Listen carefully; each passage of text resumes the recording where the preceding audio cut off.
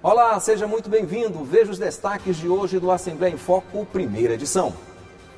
Casal transforma residência em escola e o exemplo tem repercussão no parlamento estadual. Maranhão envia especialistas em desastres para o Rio Grande do Sul. Os detalhes da sessão plenária desta quinta-feira na Assembleia Legislativa. E veja também, exposição em homenagem ao aniversário da capital maranhense revela curiosidades de prédios históricos. O Assembleia em Foco, primeira edição, já começou.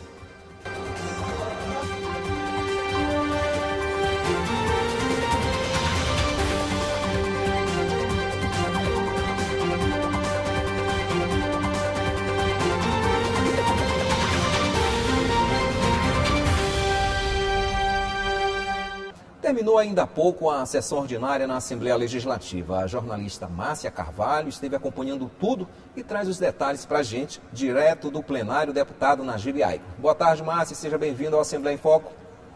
Olá, Joelson, boa tarde. Boa tarde a você que acompanha o Assembleia em Foco, primeira edição. Terminou agora há pouco aqui a sessão solene em homenagem aos 70 anos da Fé Comércio. São sete décadas contribuindo com o desenvolvimento socioeconômico do Estado. Uma sessão bastante prestigiada com a participação de deputados estaduais, também de representantes do governo do Estado, de entidades de classe e presença também da vice-prefeita de São Luís, Esmênia Miranda. Essa sessão solene foi um pedido do deputado eh, Francisco Najib, a presidente Iracema Vale também elogiou muito a iniciativa e o trabalho da Fé Comércio. E o presidente da Fé Comércio, Maurício Feijó, falou com a gente que está muito feliz com esse reconhecimento aqui da casa e agradeceu a homenagem dos parlamentares. Na sessão solene, antes da sessão solene, aliás, na sessão legislativa, os deputados usaram tempo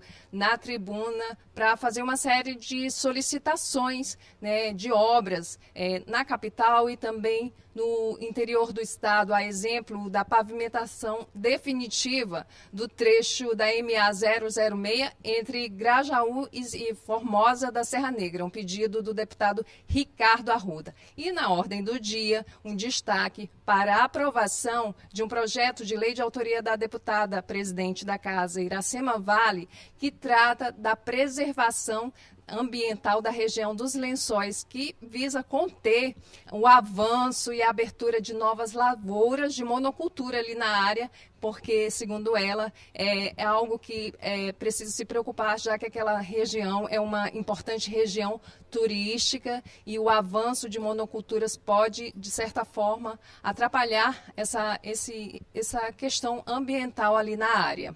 E aí, daqui a pouquinho, por falar em meio ambiente, daqui a pouquinho tem uma audiência pública aqui, a, a audiência pública da Comissão de Meio Ambiente e Desenvolvimento Sustentável da Assembleia Legislativa do Maranhão que tem como presidente o deputado Júlio Mendonça, que vai tratar sobre os impactos ambientais e econômicos da extração petrolífera é, aqui na margem equatorial do Maranhão. Volto com você, Joelson.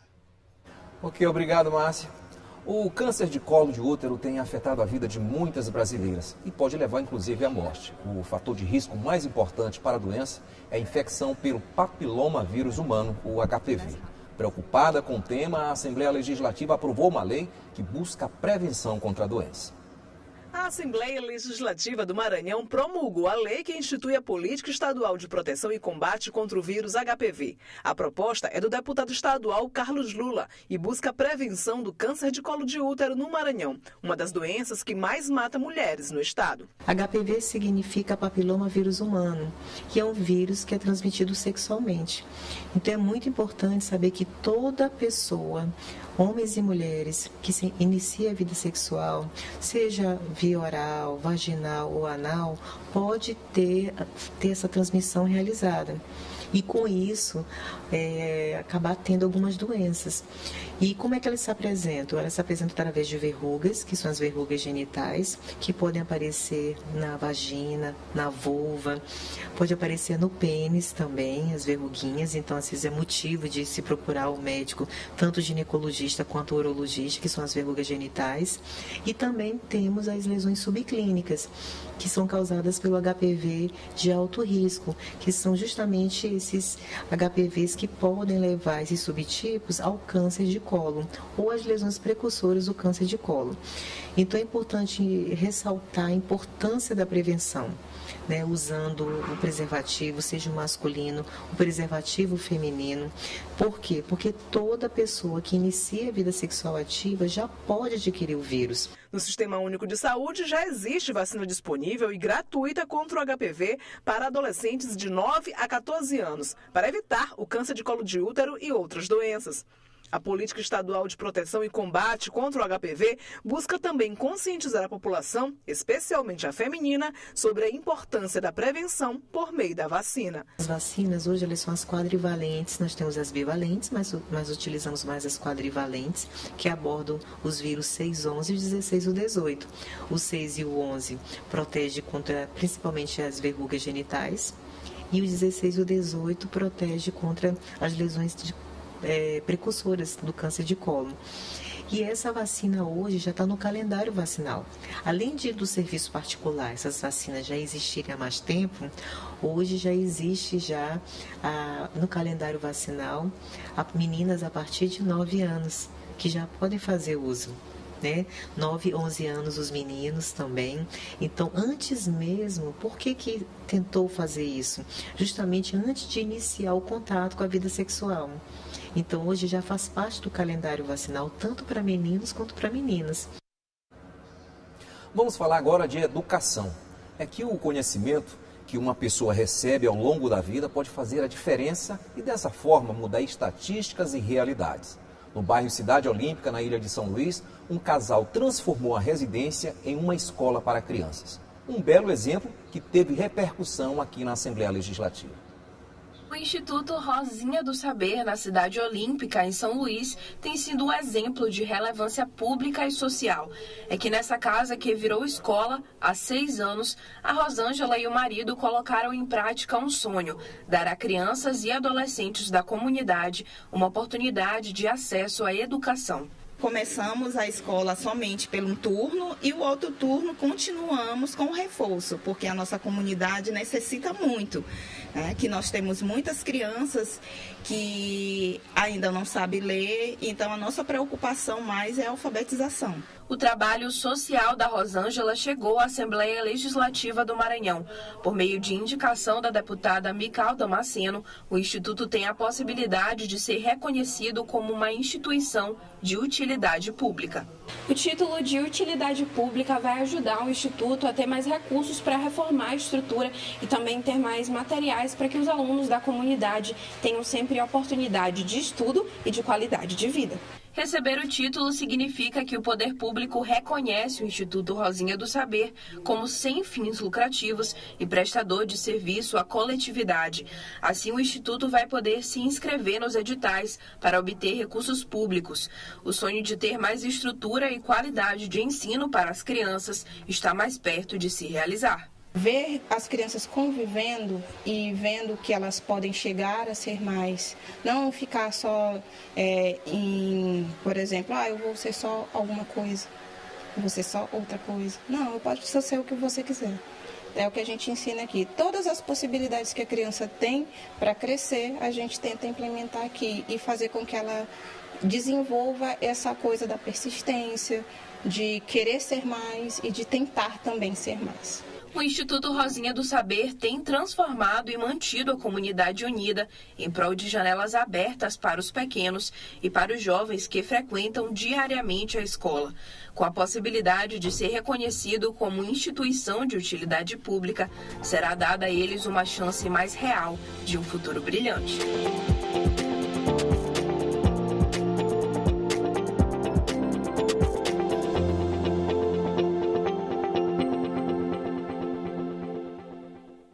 Veja no próximo bloco: Maranhão envia especialistas em desastres para o Rio Grande do Sul. E mais, você conhece a expressão BR Obró?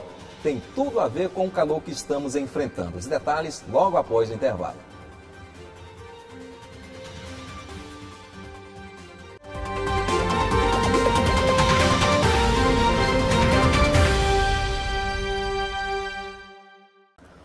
Expressão muito utilizada no Maranhão é a famosa BR-Obró. Ela anuncia a chegada dos meses mais quentes do ano. E em 2023, com a influência do fenômeno El Ninho, o BR-Obró deve esquentar ainda mais. BR-Obró ou Meses Bro. Tem gente que nunca ouviu falar. Não, não, conheço não. Nem sobre o que está relacionado, não. Não, não, não, não. Nem o que está relacionado eu não sei. Não. Achou estranho, diferente? É, é diferente, estranho. É. Você disser que tem a ver com o clima, com a alta temperatura. Ah, então eu tô, eu, né, agora eu tô, tô, tô, mais surpreso ainda, porque eu não, não sabia nada a respeito de tal palavra. Como é que é o mesmo nome? BR Obró. BR Obró? Não. Tem a mesma ideia. Para outros, até a pronúncia é complicada. Rapaz, BR Obró, isso, isso aí não é linguagem de maranhense? Eu nunca vi falar disso aí. Não sei nem o que é, o que é isso aí? Às vezes, a explicação ajuda, mas nem tanto assim. Já ouviu essa expressão BR Obró? Não, meu filho, nunca vi. Não sabe do que se trata? Não sei, não. Se eu, se eu disser para a senhora que tem a ver com o clima, esse calor todo. É? Ah, vou saber pela sua boquinha.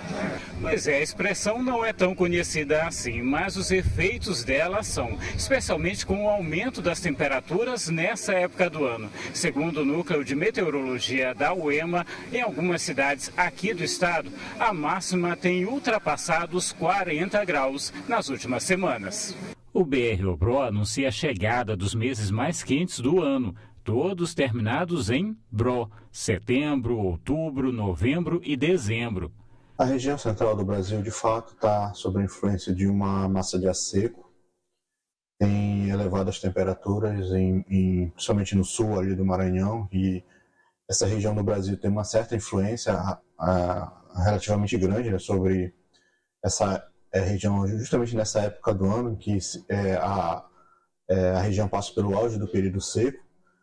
Então, de fato, nos últimos é, dois dias foram registrados no município de é, Alto Parnaíbe, Balsas, por exemplo, temperaturas máximas acima de 40 graus Celsius. E se as temperaturas já estão elevadas, o alerta é de que o período pode ficar ainda mais quente este ano.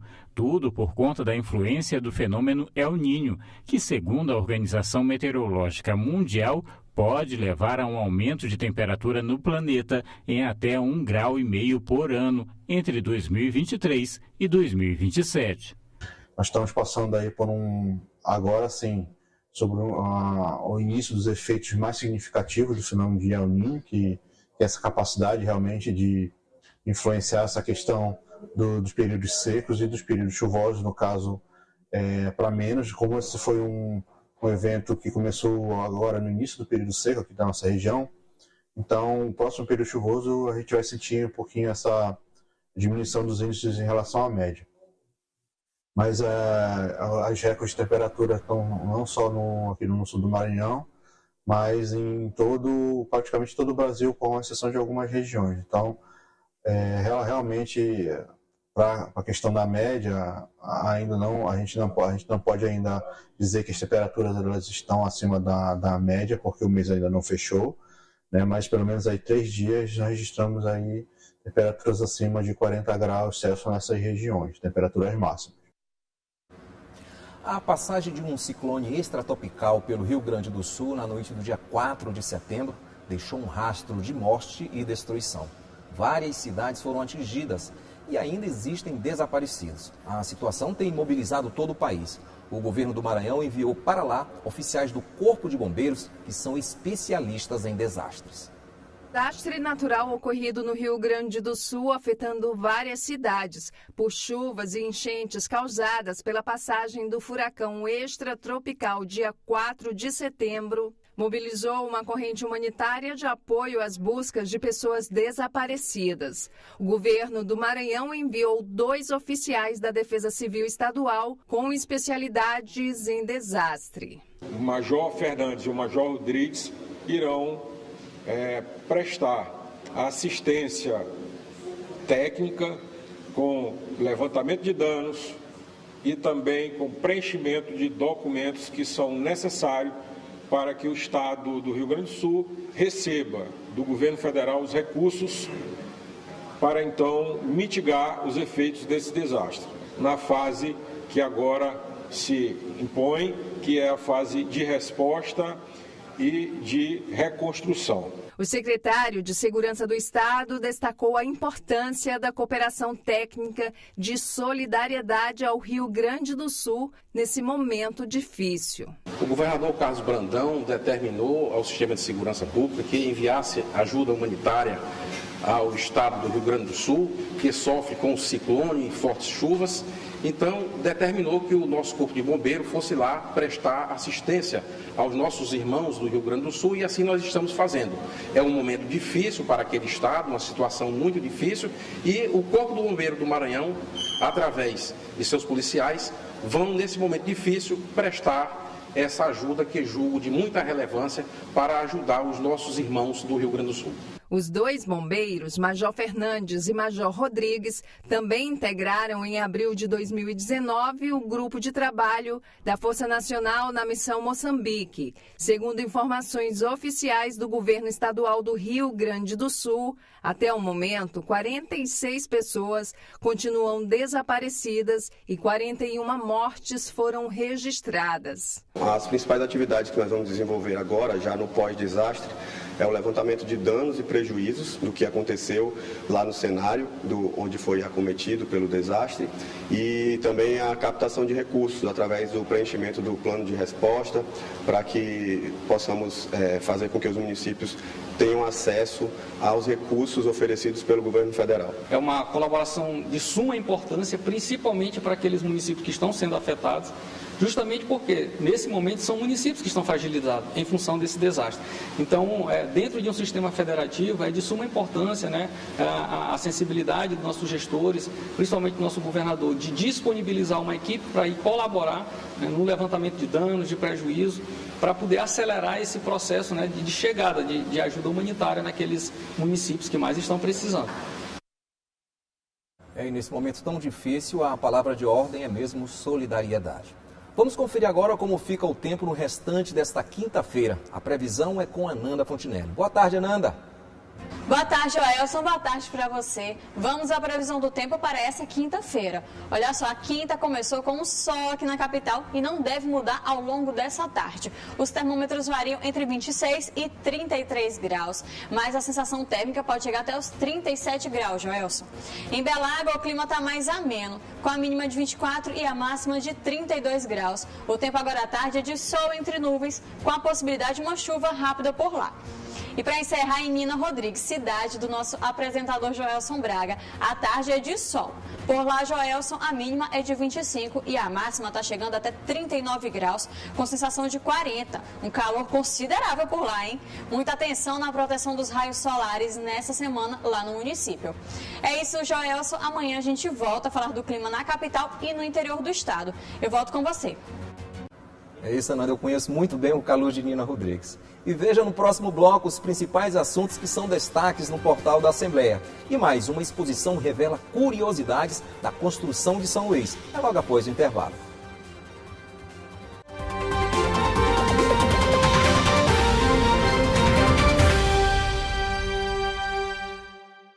Estamos de volta e é hora de conferir os principais assuntos que são destaques no portal da Assembleia. Os detalhes com a jornalista Euda Belfort. Boa tarde, Euda. Boa tarde, Joelson e todos que assistem ao Assembleia em Foco, primeira edição. Vamos aos destaques do portal desta quinta-feira. Júnior Cascaria reúne-se com diretoria do Parque João do Vale em prol do desenvolvimento de pedreiras. Plenário aprova projeto que cria selo da boa administração de recursos hídricos. E a deputada Iracema Vale lança o projeto Vale Cuidar em Barreirinhas. A ação visa ofertar gratuitamente exames de mamografia, ultrassonografia e preventivo. E para você saber mais sobre essas e outras notícias, é só você acessar al.ma.leg.br. Com você, Joelson. Obrigado, Euda. E para comemorar os 411 anos de São Luís, uma exposição no acervo público do Estado revela raridades na construção da capital maranhense. Lá, o visitante pode conhecer detalhes da construção do Convento das Mercês, do Palácio das Lágrimas, do 24º Batalhão de Caçadores, quando funcionou na Praça Deodoro. Um passeio para lá de imperdível.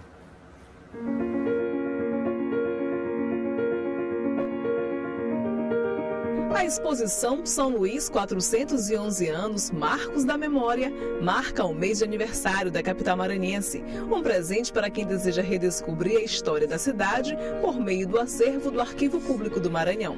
O Arquivo Público, enquanto guardião da história do Estado, nós temos sempre a preocupação de fazermos em datas comemorativas ou por conta de algum projeto exposições como uma forma de dar mais visibilidade ao acervo dessa casa e aproximar também esta casa à sociedade de um modo em geral. Bem no hall do prédio, também patrimônio histórico, estão documentos importantes sobre a construção de monumentos bastante conhecidos, entre eles o Convento das Mercês e o Palácio das Lágrimas. Tem ainda as curiosidades sobre os pelourinhos construídos no período escravocrata. Este documento é a doação do mítico Palácio das Lágrimas. O Palácio das Lágrimas era um sobradão de três pavimentos que ali existiu, que não foi terminado, era ruínas, envolto em lendas. Ele foi doado em 1889 para o governo do estado, para lhe servir de guarda dos cavalos, de cavalariça da Polícia Militar, que o quartel ficava logo ali também. O visitante passeia ainda pelos registros de construção e instalação de outros monumentos, como a Mãe d'Água, e prédios importantes como o antigo quartel do 24BC do Campo de Ourique, onde hoje fica a Praça Deodoro. A exposição conta com cerca de 18 documentos, mas um dos curiosos é este bem aqui. Trata-se de um registro da compra de chafarizes importados da Inglaterra para a venda de águas aqui em São Luís. Serão pelo menos seis pontos de vendas espalhados pela capital. Mas, segundo os historiadores, os negócios não deram muito certo não. A lendária Ana Jansen, que também lucrava com a venda de águas aqui na capital, teria atrapalhado as vendas da companhia Anil. E o interessante é que essa companhia do Rio Anil não prosperou, porque Ana Jansen vivia de vender água aqui, né? E essa companhia, contra os interesses dela, ela fez mil artimanhas, boicotou mesmo. E que o... É comprovado pela... É, nós temos documentos comprovando isso, é jogou o gato morto, fez tudo que. É, e a companhia logo faliu. Acabou a companhia faliu. Ficaram os chafarizes que foram desaparecendo lentamente e hoje o único que nós temos é este que nós temos a foto aqui, que se encontra na Praça da Misericórdia, em frente à Santa Casa. E temos um outro chafariz no Museu Histórico, nos jardins do Museu Histórico. A exposição São Luís 411 anos, Marcos da Memória, fica em cartaz até o fim de setembro. O Arquivo Público do Maranhão funciona de segunda a sexta, das 8 da manhã às 5 da tarde, na Rua de Nazaré, no Centro Histórico da capital. Aqui estão guardados documentos desde o século XVII, tesouros da memória da cidade, fundada em 1612, à disposição de todos. Eu aproveito a oportunidade para convidar toda a sociedade, né, em geral, inclusive os turistas que passam aqui pela nossa região, eles costumam entrar ao arquivo para conhecer porque é gratuita a entrada. E nós estamos aqui para receber a todos que tiverem interesse, das 8 às 17 horas, né? Estamos sempre dispostos a fazer o acompanhamento de quem vier visitar o AP.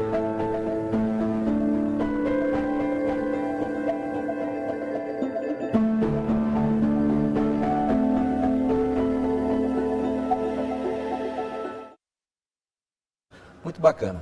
E agora eu faço um convite a você. Logo após a edição do Assembleia em Foco, iremos exibir uma matéria especial sobre o festejo de São Raimundo Nonato dos Mulundus, realizado na cidade de Vargem Grande. Todos os anos, a festa atrai milhares de pessoas em um ato de devoção e fé. Vamos mostrar detalhes de uma das maiores festas religiosas do estado. Você não pode perder. E o Assembleia em Foco, primeira edição, vai ficando por aqui. Para rever este programa e todo o conteúdo jornalístico produzido pela Direção de Comunicação da Assembleia Legislativa, acesse o nosso endereço eletrônico www.al.ma.leg.br. Uma boa tarde para todos nós.